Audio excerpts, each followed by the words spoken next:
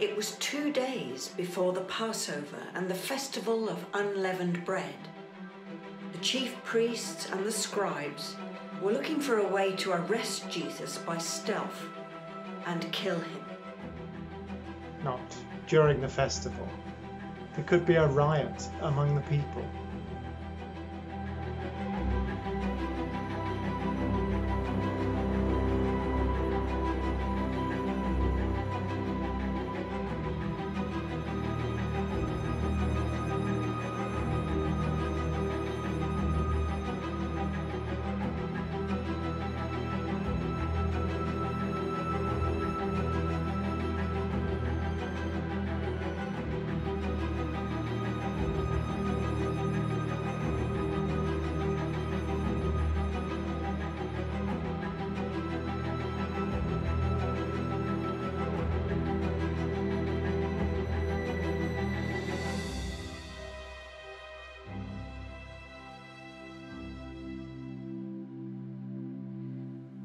While he was at Bethany in the house of Simon the leper, as he sat at the table, a woman came with an alabaster jar of very costly ointment of nard. And she broke open the jar and poured the ointment on his head. But some were there who said to one another in anger, Why was the ointment wasted in this way? For this ointment could have been sold for more than 300 denarii and the money given to the poor. Let her alone. Why are you troubling her? She's done a good service for me. The poor are always with you. You can be kind to them whenever you wish. Not so with me. She has done what she could. She has anointed my body beforehand for its burial. Truly, I tell you, wherever the gospel is preached throughout the whole world, what she has done will be remembered.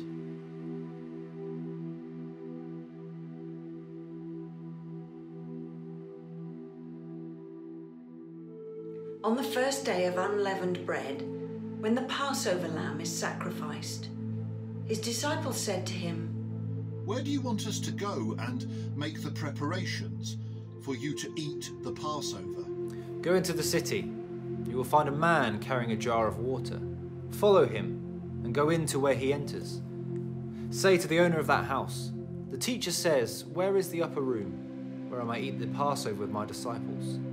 He will show you a large upstairs room, furnished and ready. Make preparations for us there.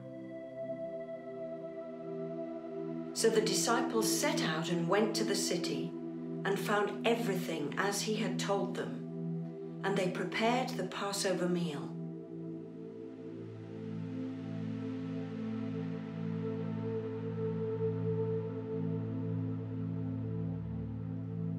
When it was evening, he came with the twelve. And when they had taken their places and were eating, Jesus said, Truly, I tell you, one of you will betray me. One of you who's eating with me. It's one of the twelve, one who dips the bread in the bowl with me. For the Son of Man will go as it is written of him. But woe to him by who the Son of Man is betrayed. It would have been better for him not to have been born. While they were eating, he took a loaf of bread, and after blessing it, he broke it, gave it to them, and said, Take, for this is my body.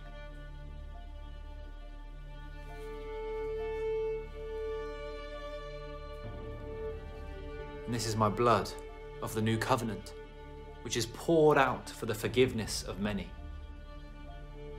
I will not drink of this fruit of the vine again until I drink it with you anew in my Father's kingdom.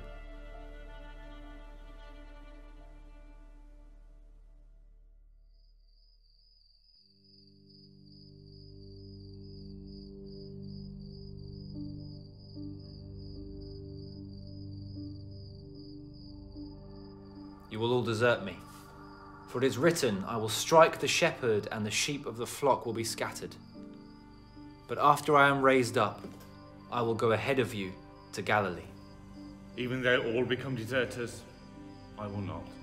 Truly, I tell you, this day, this very night, before the cock crows, you will deny me three times. Even though I must die with you, I will not deny you.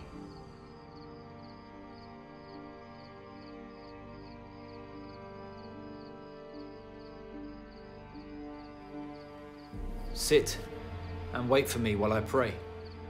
He took with him Peter and James and John and began to be distressed and agitated. I- I'm deeply grieved, even unto death. Sit and pray. And going a little farther, he threw himself on the ground and prayed that if it were possible, the hour might pass from him. Abba, Father, to you all things are possible. So let this cup pass from before me. Yet not what I want, but what you want.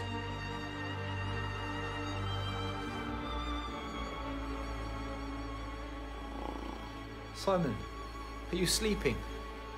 Could you not keep awake for one hour? Stay awake and pray that you do not fall into the time of trial.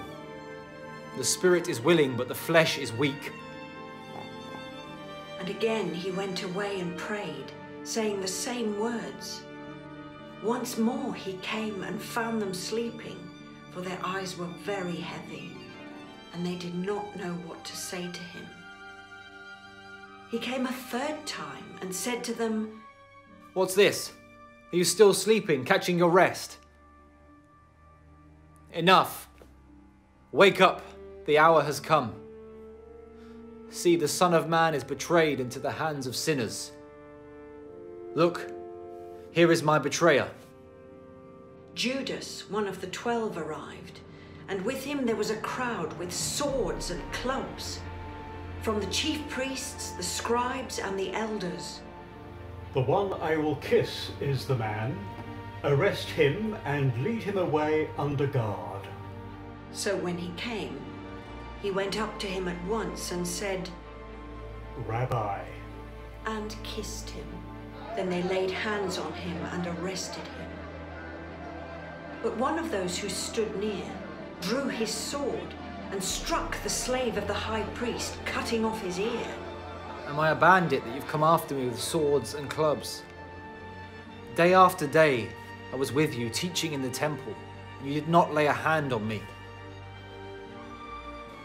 But let the scriptures be fulfilled.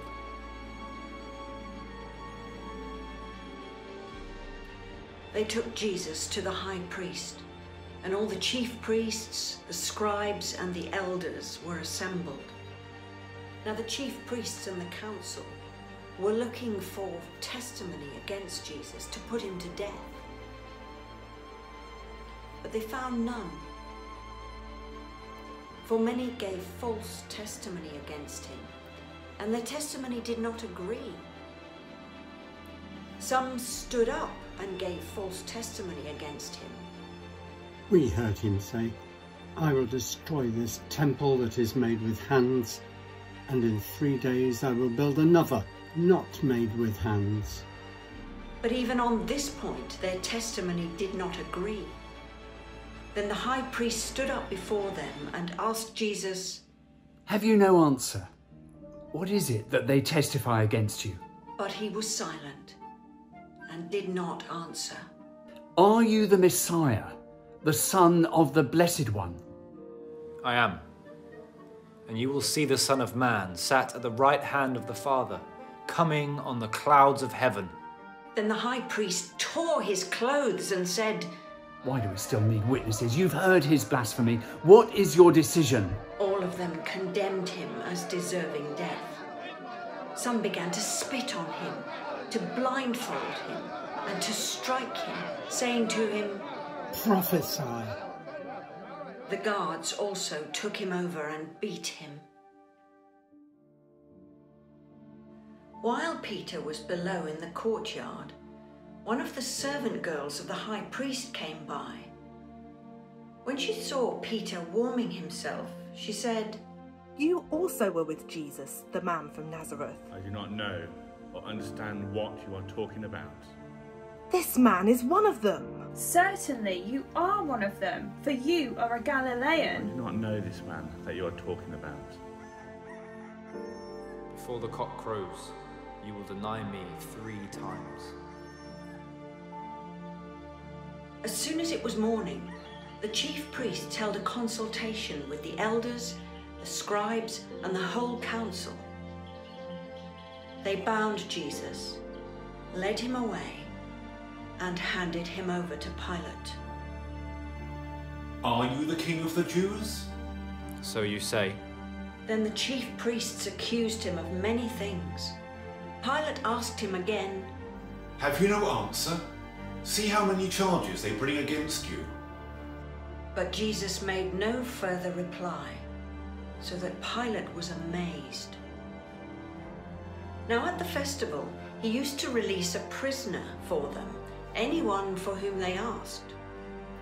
Now a man called Barabbas was in prison with the rebels who had committed murder during the insurrection. So the crowd came and began to ask Pilate to do for them according to his custom. Do you want me to release for you the king of the Jews? For he realized that it was out of jealousy that the chief priests had handed him over. But the chief priests stirred up the crowd to have him release Barabbas for them instead. Then, what do you wish me to do with the man you call the king of the Jews? Crucify him! Why? What evil has he done? So Pilate, wishing to satisfy the crowd, released Barabbas for them. And after flogging Jesus, handed him over to be crucified. Then the soldiers led him into the courtyard of the palace. And they clothed him with a purple cloak. And after twisting some thorns into a crown, they put it on him. Hail, King, of, the, Jews.